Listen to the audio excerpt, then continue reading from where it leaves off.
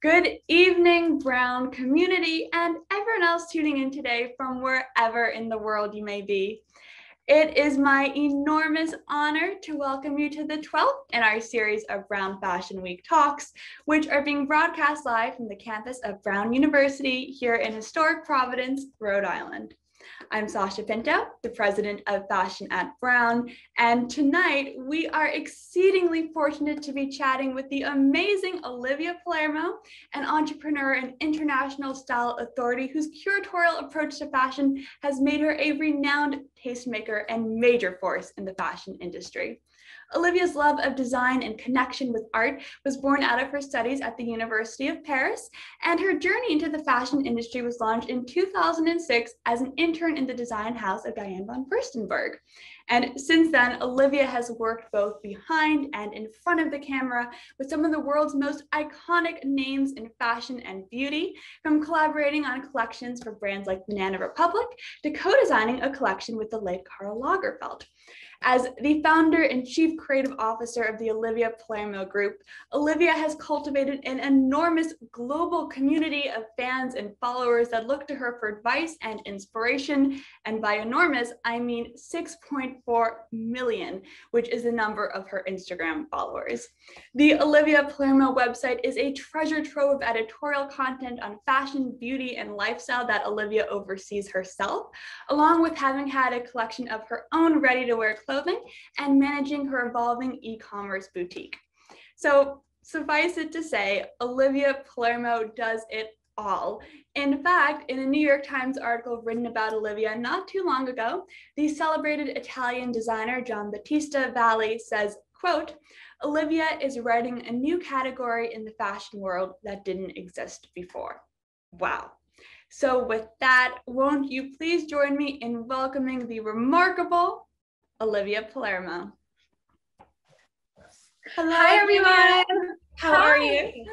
I'm so well. Thank you so much for having me. I'm thrilled to be here tonight. Well, we are just thrilled to have you. And let me just start by saying how incredibly generous of you to be here at Brown Fashion Week. We really appreciate it. Well, I appreciate it. And thank you so much for the warm welcome. And thank you so much for the kind words. It was very sweet and touching. well, thank you. And, and how are things in New York? Are you and Mr. Butler, Wonderful. your adorable dog, enjoying some lovely springtime walks? I am indeed. Mr. Butler's doing really well. I'm looking forward to his 16th birthday in uh, June.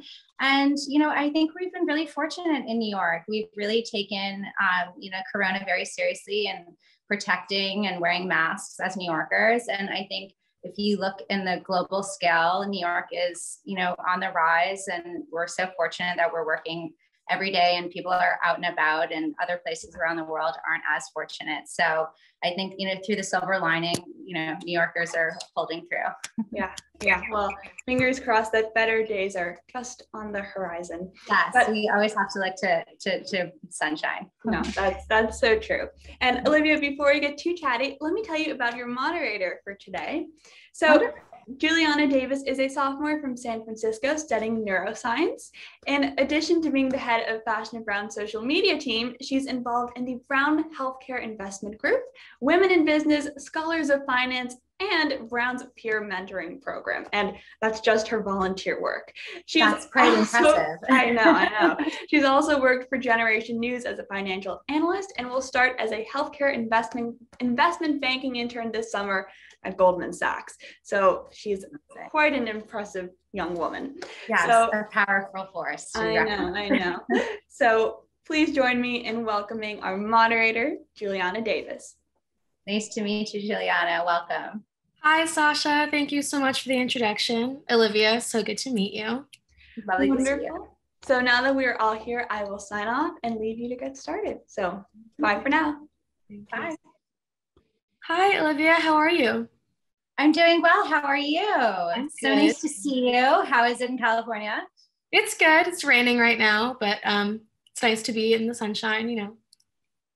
That's yeah. good. Well, I love it. I'm happy to chat with you. Thank you. So, working from home in New York has been going well. It has been going well. And you know what? I, I think within the industry that we're in, everything is so in person. So it's taken me a little bit to acclimate to digital. But I think, yeah. you know, if we have to pull through until we yeah. can all be together. Yeah, absolutely. So, on the topic of work, um, I'm curious what drove you to pursue fashion in your early career? Um, you know, when I was about 15 years old, I interned for Quest Magazine, um, a family friends magazine, and I met my closest and dearest friend, Edward Barsamian, who then went on to work for the Times and to be a Vogue star um, for Vogue magazine and online. And then he went off to Victoria Beckham. And I think through the lens of the two of us and our love for fashion, I think we empowered each other through all of our years of being friends. Um, and I think it was a really wonderful kind of foundation to start working in magazines together and having a very similar perspective. Yeah, absolutely. Um, I'm sure everyone in the audience, you know, being a college student or around the college student age, is curious to figure. It's curious to find out what you did after you attended the University of Paris. I did. You know, I really loved the University of Paris. It was an incredible experience. I met people from all over the world, and it really gave me a global perspective. Um, a part of it, which I think that led me to working for Viacom and kind of looking at the fashion industry and trying to figure out what I want to do just beyond working for magazines. Um, but of course, you know, when you do work in fashion, you should start from kind of ground up and really understand the ins and outs um, from every aspect. And so for myself, you know, my time at DVF was incredible working for Viacom, but it gave me a global perspective of how a global brand works. Um, and working for um, Viacom and working and during at the magazine world, um, it gave you an insight of editorial, and I had already had that experience. So it only kind of helped my growth when I decided to go on to start my own brand afterwards. And I think through that time, it was really nice because there was um, a space in the market that wasn't there. And, you know, I write my kind of my own scripted things, I do my own thing. And I think, you know, through that time, there was a huge change in fashion. I think from starting um, from the internet and through apps and people being able to see fashion on a much more accessible level um, and having you know everyone of walks of life be have that experience of fashion, which I think is incredible. I think Net-a-Porter had a huge um, impact on that within the shopping experience. Mm-hmm. Um, so for me, I was very fortunate. Um, social media was starting, and of course, it's something I'm always continuing to learn and evolve from. There's always a new app or um, you know a new form of, of uh, media platform. Um, so I think for me that I was really fortunate in that time when I started. Yeah, absolutely. Thank you so much for sharing. Sorry, I know um, that was a bit long, but I no worries. Um, so you just mentioned the Olivia Palermo website, which is amazing. I've been spending so much time on there. Um, so you once posted outfit ideas on there and personal blog posts, and now with um, it's a massive success with a major facelift, including the introduction of e-commerce. Um, I love you- that you call it a facelift because that's exactly what I call it too. Every everything needs to judge. Everything needs a facelift after after exactly. some time. And you know, when I started it um, you know, the world on the internet was more blogs and, you know, uh, websites and less on um, a little bit. Facebook was just starting, but Instagram mm-hmm. hadn't appeared yet. So I think it was a perfect time. And then over the years, it's really evolved onto an editorial platform. And I'm so fortunate to, um, you know, even have Edward have a voice on our platform to this day, um, you know, bring his incredible lens to our brand. Absolutely. Um, would you mind talking a bit about how you transitioned from doing those amazing blog posts into now the e-commerce world? Absolutely. You know, from day one, it was never me writing. It was always having a team of editors and contributing editors. And mm-hmm. I was always about, and still to this day, about supporting young emerging talent. And whether that's a designer, uh, a writer or any type of creative. I think it's really important. So, you know, when I'm evolving and growing, it's important to support people as well um, through that journey. And so I had incredible um, group of people that were able to capture the lens of the beginning voice for the brand. And now we're in such a incredible place and I'm so excited because, you know, from what it's started and what it is now is is really you have a full circle experience where you're able to come to Olivia Palermo and not only see the editorial lens, see things that I like, but also have the same shopping experience. Absolutely. Thank you so much. Um, speaking about the shopping experience, um, you have all of your different collaborations with all these different brands on there. Um, I was wondering if you could talk a bit about about what you've learned while collaborating with a bunch of different people, including Karl Lagerfeld, Nordstrom, Banana Republic. It's been incredible. It's honestly, it's been wonderful. And I think from when I started out modeling and doing brand ambassadorships, that has led me to design collaborations. It's all throughout everything in my experience in working with the teams and the creatives um, and understanding the brand ethos. And when I work with any brand, it's important for me to come in and have a organic experience, an organic conversation, um, love for one another. But it's not for me to come in and change the brand. It's for me to uh, highlight and you know what they're best at and put my own little stamp on it, but also bring in a new customer base and put a new set of eyeballs on as well. And through all of it, it's been incredible because you know working for a fashion brand like a Karl Lagerfeld that is an incredible structure and works on a very high level, very similar to myself. And then when you work with a um, a Nordstrom's, for example, you're working with an in-house brand and they are a retailer, so they work in a very different way. So it's really interesting to see how all different um, internally how people work, and I think it makes me makes my job much more well-rounded of understanding um, all the different aspects of the industry and how things work. And it's I've been very lucky and very fortunate, and everyone I've worked with has really been extraordinary, and it's been a learning experience. And I think that you always have to continue to learn. You have to continue to grow. Um, and if you feel bored, then you need to kind of take a minute and reset and, you know, surround yourself with people that are going to push you through, will inspire you. Um, and so even to this day, I have countless amount of people that continue to inspire me. Yeah, absolutely. Thank you so much for sharing. Um, so it seems like you have a lot on your plate at all times. Um, I'm sure a lot of the students in the audience have are under a similar situation, but you know, maybe not as intense. Um, so I'm wondering how you prioritize your time between all of your different business ventures. I, I do. I wear a lot of many hats. Um, I when you know corona has is, is been a bit of a different time where i've been able to kind of reset and you know time is is different now uh, prior to that you know i, I am not I'm, my mind is always active i really never shuts off so even if i want to get sleep you know i probably sleep um, not as many hours as most, um, five hours, but you know, I like to start my day working out. And, you know, also it's important throughout everything that you do, no matter how busy you are, um, and managing that time, which is really important. Um, you have to take time for yourself because if you yeah. don't, you burn out. And I think many people forget that and realize that. So I do you want to point that out. It, whether it's a massage, a facial, a walk in the park, a manicure, pedicure, something to recharge you um, because we all need it. We really do. Absolutely. I totally agree. Um, so you mentioned that you find inspiration from the people around you. I'm curious if there are any other places you find inspiration. You know, you've been a New Yorker your whole life, or whether that was studying in Paris.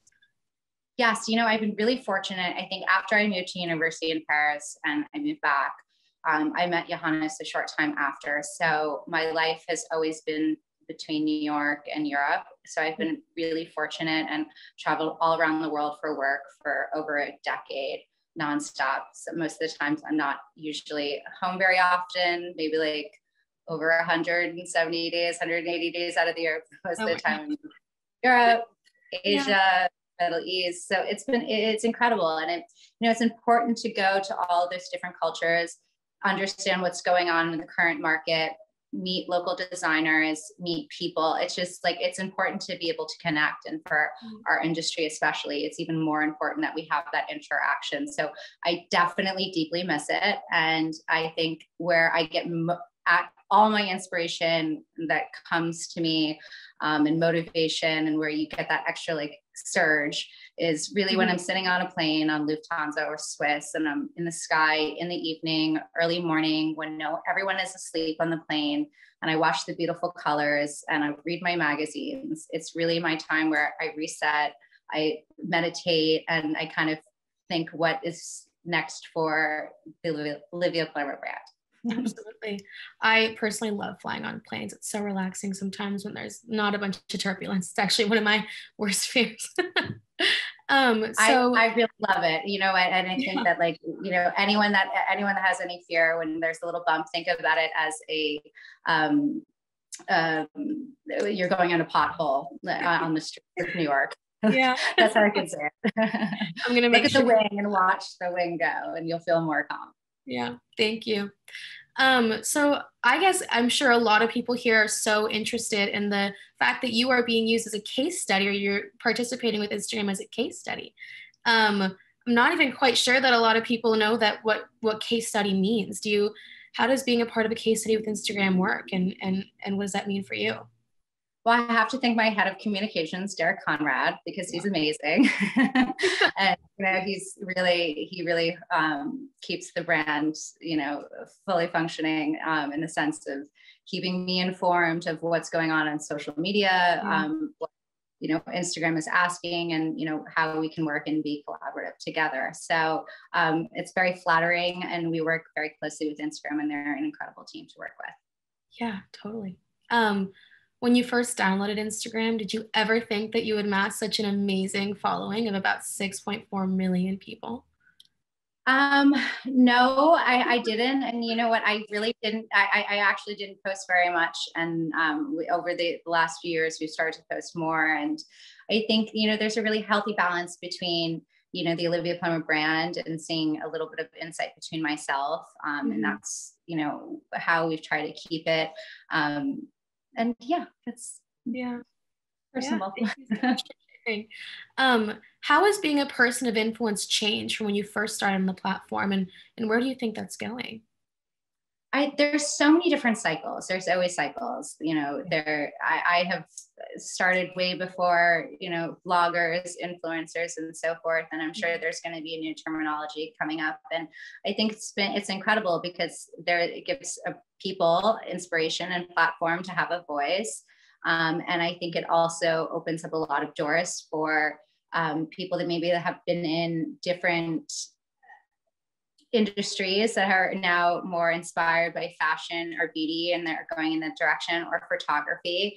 And i've seen that throughout the years and i, I love seeing that. It's incredible because you know as myself i'm very artistic so i always love to see an artistic lens. Yeah. Thank you for that. Um, being on social media and and you know having your own platform i'm sure it's so important to have a balance between being candid and but maintaining your privacy um, so how do you ensure that who you that you're representing who you are on social media while protecting yourself?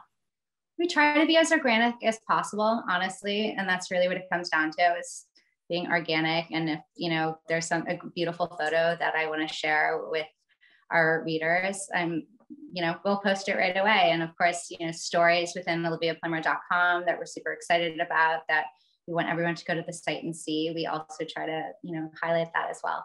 Mm-hmm. Thank you so much.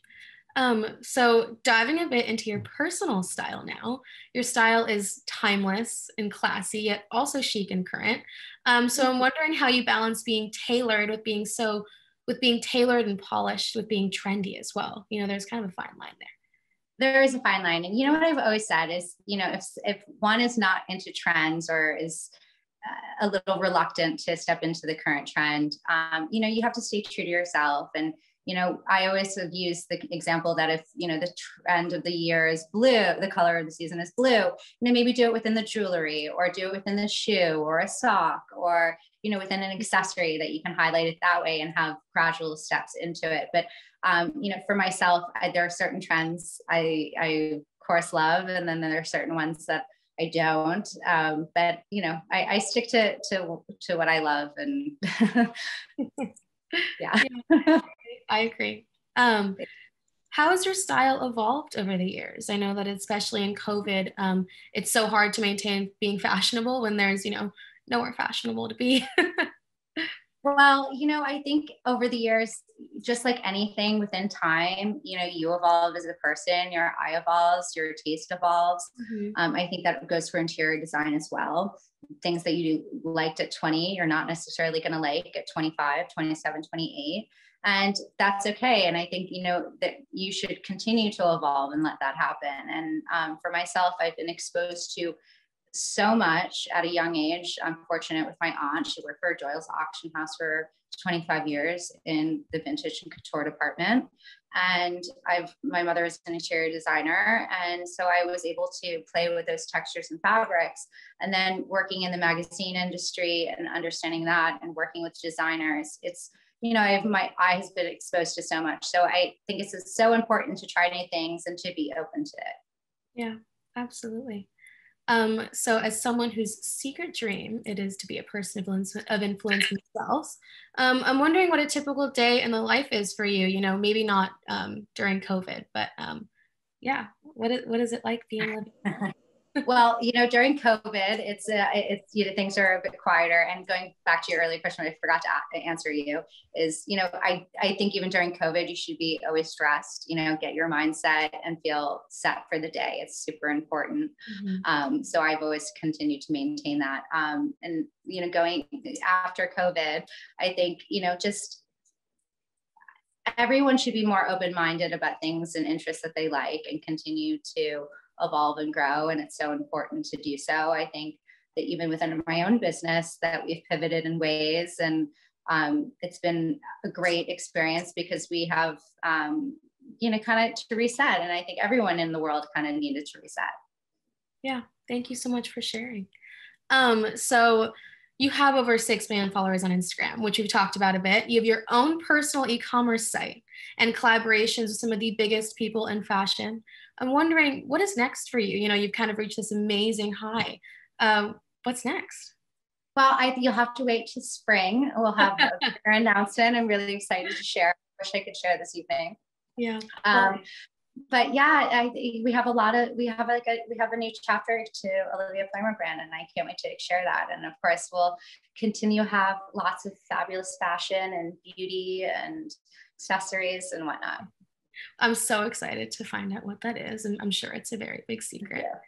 Um, and we have we have lots more Piaget campaigns coming up, and we've just recently shot LG with Misty Copeland and oh Lewis Hamilton, which was really lovely. So we have that, and I'm really fortunate that I am able been able to be the Dress for Success ambassador for the last year and work really closely with the women. So I'm looking forward to continuing my work with that. Absolutely. How have you established any have you established any comforting routines to help you get through this year of isolation? Um, you know, I think through this whole thing, you know, you, you know who your true friends are. You sp- you have a handful of them you speak to every day.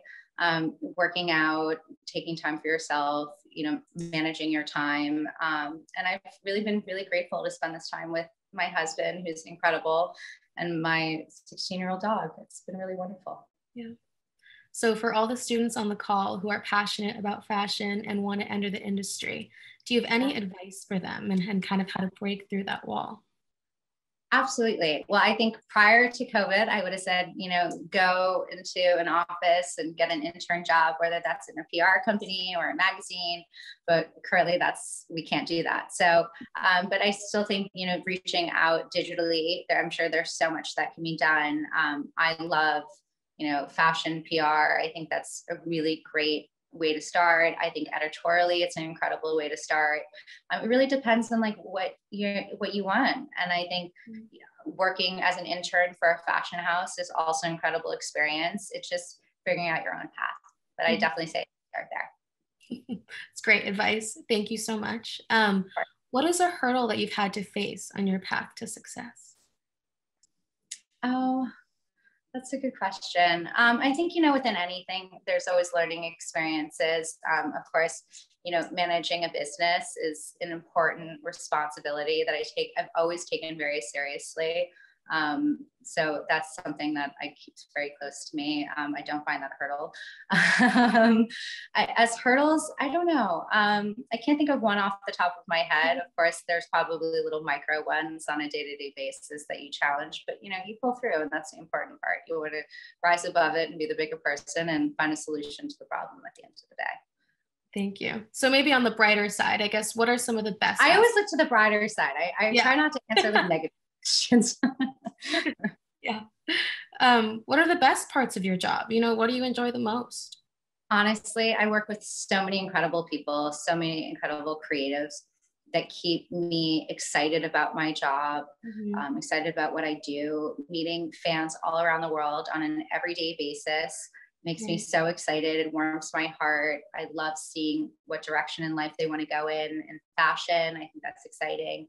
Um, so there's so many different things, you know, modeling, I absolutely love. I love consulting for brands. I love designing. Um, I like that editorial outlet as well. So, you know, I think all in all, they go all hand in hand. And I think that throughout the years, working with incredible creative directors, incredible photographers, incredible editors have really been able to, to shape my eye. And I'm incredibly grateful for it. Yeah. I'm sure it's a little difficult, you know, missing those in person aspects of your job within the past year.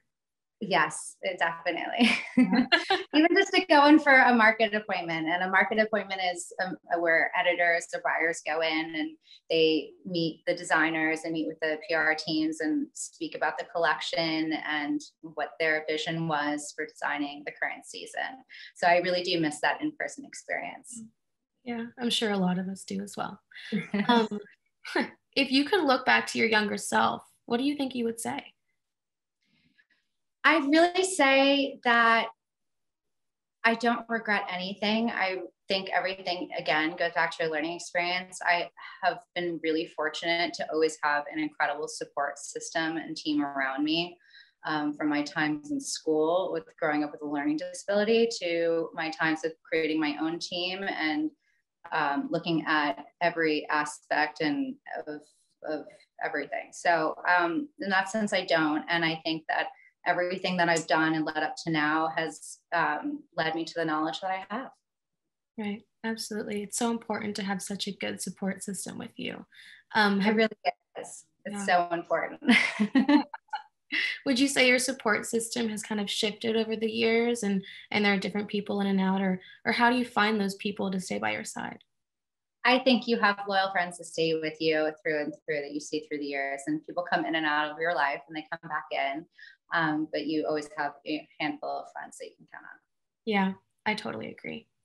So back to kind of uh, maybe the, the more negative side of things. Um, have you ever made a mistake that you learned from that you could just share with us so we could learn from it too?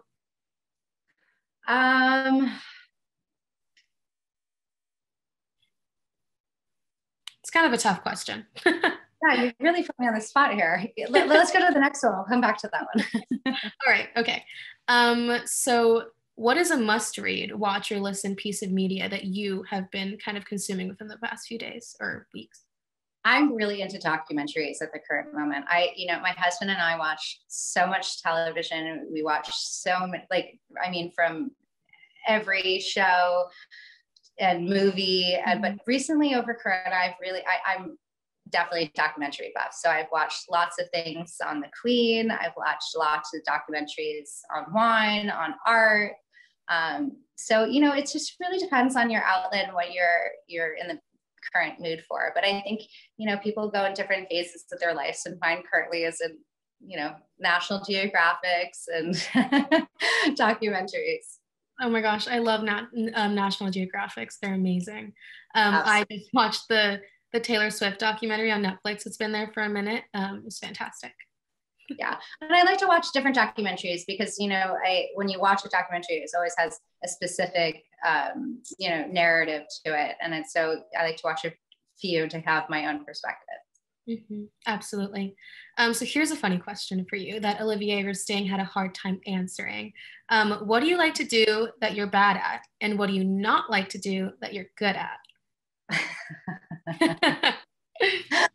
oh, I'm with him on this. You know, I, I absolutely adore him. He's amazing. He is amazing. Um, he's amazing. What am I bad at? Um, good answer too. I was bad at going to college because I shopped all the time. um, and what I'm good at that I don't want to do all the time. Um, oh gosh. I'm really good at skiing and I don't do it enough. And I, the ski season since I've been, haven't been um, in Europe and we haven't gone to St. Moritz, it's been killing me, but I wish I could do it more. And unfortunately, ski season starts in December, but because of global warming, it really doesn't start until like end of January, mm-hmm. right? So uh, uh, uh, I, I missed my spring, my spring skiing. Is there one person that has influenced your style the most? Oh, that's a good question. I think that my husband has definitely been a huge influence. He has an incredible eye of how he puts menswear together um, naturally. I think, you know, speaking to, about Edward again, we have a very similar aesthetic. Um, and, you know, various people within fashion that I admire, um, you know, whether it's Valentino or Giancarlo, course, they're also men that are incredibly inspiring to me. Giambattista is also a human that is fabulous and endlessly inspiring. Thank you. Yeah. Um, so within your collaborations with other designers like Karl Lagerfeld, how do you bring your own personal style, but make sure that you're you're um, respecting their style as well? You know, like how do those two mesh together? Of course, it's a very fine it's a it's a very fine line to walk, and I always like to sit down and meet with the creative team, we meet with the marketing team, seeing what their current commercial line looks like, and then look at that and see what their direction is, and then kind of put our own inspiration together. But there's always some sort of direction. It's just kind of unspoken. yeah, it's definitely interesting. Until on paper. yeah, it's a skill for sure. Um, earlier, you mentioned that you're an optimist. Um, has that always been your outlook? Absolutely. I think it really has. And I think that goes back to having an incredible support system as, at a young age. Um, I was really fortunate to have. And yeah, I grew up with, as I said, many struggles with a learning disability, but having a great support system kept me optimistic. Mm-hmm. And, you know, I think one saying that I've always lived by is that everything not only happens for a reason, but everything always works out. There's always a solution to the problem. So, no matter what, that's kind of like at the end of the day, you know, it's all going to be fine. So it's going to be fine. Just in the moment, you might just feel it's not. But I think the important thing is to always look past that. Yeah, everything happens for a reason is one of my my mottos as well. Absolutely. Um, so when during your time in your internships, you know, being an intern is kind of difficult. You know, it's hard to kind of enter a company for the first time. Um, what is one piece of advice that you would give to the students in the audience who are entering internships as well? I think it's really important to meet everyone in the office and to get to know everyone and understand what everyone does and to you know always lend a hand when you know someone needs it. And i think that experience will be valuable. Absolutely. I totally agree um, so we have some audience questions that I'm oh, sure I'm excited. Yay. they would love to ask you.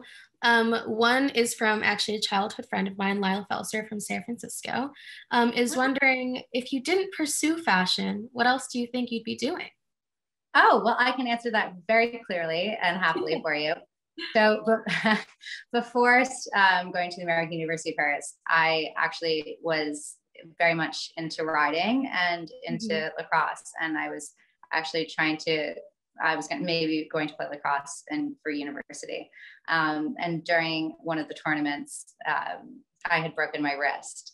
Mm-hmm. And so that had changed my course. But what it had done, it had opened up two different avenues. One, I had met Kevin Plancher, who he is an incredible orthopedic surgeon to this day. He's basically our family doctor and he works with everyone in the sports industry. He is like the most incredible doctor. And the second one led me to fashion and led me to moving to Paris because if I hadn't, I had I wouldn't have decided that you know I wasn't going to go play lacrosse or ride. I was going to go and move to Paris and so similar to like when you grow up into New York, you grow up in an urban city and you love an urban city. And for me, I chose Paris and I didn't know anyone. Um, I didn't speak the language and I just was like, okay, I've arrived. And ever since then, Paris has kind of been a second home to me. Um, and I spend, you know, over 40 days out of the year there for the collections. Um, I have really dear friends that live there. And so when I always, when I'm there, it just, it, it always feels like a second home. Mm-hmm. And, and what I would, and, and if I hadn't, I would have been a sports commentator to answer your question. Oh my gosh, that's amazing. Do you still yeah. get the chance to play lacrosse and ride horses? No, I don't do anything. I just I, I, I ski all the time. That's my main passion. But I am a huge New York Rangers fan, and you know I've always said being a Rangers fan will put you in therapy by the end of the season. But this season, I don't think we'll have to go to therapy because they're doing very well. oh my gosh. Um, so another person who submitted a question, Reno Hashimoto, says, Instagram is a wonderful platform through which to share creative content, but how do you navigate some of its more negative aspects and develop a healthy relationship with social media to protect your mental health? I think it's really important. You know, I'm always about, you know, not overindulging and you know having everything is a balance and i always say that everything is balance. And so for us it's about finding that happy balance between my private life and the business of, of olivia palermo so um, it's kind of you you have to have your own sense of what works for you and your own science and uh, hopefully for us you know everyone enjoys it. Yeah thank you for sharing. Um, so we have another question from ellis clark he says, um, Your style influence is regarded as, as the last in a line of traditionalist fashion. Do you ever feel compelled to, pro- to highlight more progressive brands, designers, or styles that receive less spotlight given the reach of your platform? Well, we I always try to support young emerging talent. I, you know, I think I spent a lot of time in Milan um, over the last few years, and you know, the craftsmanship and quality. I really, I think that there's m- bigger brands like Max Mara they support and Cucinelli, and then you have smaller brands um, with incredible craftsmanship like um, Santoni, for example, or Cassidy. So um, for myself, I, I, try to find a healthy balance. Absolutely. Um, another student is wondering who is your favorite designer? Oh, my favorite designer is Valentino. He's absolutely incredible and I love him dearly. Thank you. Um, sorry, we have a lot of student questions on here. So there's and I also love Giambattista. John Batista, he's Amazing. Um, someone's wondering how do you practice self care? Um, I know that kind of relates to the first one we talked about with Instagram, but um, oh. yeah, you know, so yeah, it's really you know I have I was really fortunate. It was embedded to me in a very young age to always maintain, take care of yourself I get my manicure, pedicure every week, get my hair done every month. You know, I think those little moments where you take time for yourself, it recharges you. It makes you feel like the best version of yourself, even if one thinks it might be superficial, like you still feel great. So, however, one can feel great, and whether that's, you know, again, getting a facial massage, anything, I think carve that time out. I agree. It's really important to work that into your schedule. You have to. There's no excuse for it. And there's no excuse for not working out either. Everyone can like carve out time. It's all about the time management, as you said mm-hmm. earlier. Absolutely. Even 10 minutes. Yeah. Um, just a couple more. How has New York Couture influenced your style? Well, um, New York Couture is more Paris Couture that's influenced mm. my style. Um, you know, the craftsmanship in Paris, it's a very small uh, community, and Jumbo is actually one of the um, one of the last and youngest designers to be admitted into the council, and he's done it so incredibly elegantly, gracefully throughout you know, the last ten years. Um, and it's really about craftsmanship, and I think we have so much disposable fashion that mm-hmm. couture is a place that people can go for fantasy, for beauty, um, and they can take their mind into a totally different place. Yeah, I totally agree. Um, and speaking about disposable fashion, um, thrift shopping has become ever more present recently. Do you enjoy thrifting, or if so, how do you go about picking a piece? I giggle that it's a current trend because I've been doing it for years since I was really young. You know, you, it doesn't matter where you go, you can always find something amazing. Mm-hmm. Um, and, you know, I'm someone that always loves to go on a, a little bit of a hunt. So I think that's great. Yeah. Do you have any tips and tricks? Um, I go down to when I'm home. I go down to West Palm Beach. Um, they have a really a lot of great um, vintage outlet stores. And when I'm in Europe, I usually go to Portobello Market, or when I'm in Paris, I go outside of Paris to the markets. Perfect. Thank you so much for sharing. I'll make sure to check all of those places out. Put them on my list. Um, yeah. In your closet, what is your go-to piece? In my closet, my go-to pieces are probably from Max Mara and Moncler. Mm, what are Without they? Don't mind me asking. Oh, that's a good question. Um, I really have I have a great camel Max Mara suit that's a culotte, and I have a vest um, double-breasted version, and I also have um, a blazer double-breasted, and I always think that's super chic for a perfect perfect day occasion. Thank you so much for sharing. um, what are your words of wisdom for students who are still in college right now, considering pursuing a career in fashion? well finish school and then when you do um, you know i think take a take a minute and figure out you know what you want to do and start applying to all different um, avenues within the industry and see you know what clicks. Absolutely. Well thank you so much for sharing. Um, i thank really, really appreciate it um, thank you so much everyone for having me. It's been so such a pleasure and i've been looking forward to this for so long. Yes it was such a pleasure to hear your fabulous recount of your amazing career, and thank you so much for sharing your inspiring words. I'm sure everyone in the audience appreciated hearing your words of wisdom as much as we did. Um, on behalf and congratulations everyone. I wish you all the best of luck and you know believe in yourself and you can do everything. It's all possible. Absolutely um, on behalf of the entire Brown community and particularly Fashion@Brown, I want to say how incredibly grateful we are that you carved the time out of your busy schedule to sit with us. Um, My pleasure. Every, yeah, um, to everyone in the audience, thank you so much for joining us today. We hope to see you at the rest of the amazing Fashion@Brown events, which you can check out on our website. So goodbye for now and have a fantastic evening. Thank you so much. Bye, everyone. Bye. Thank you.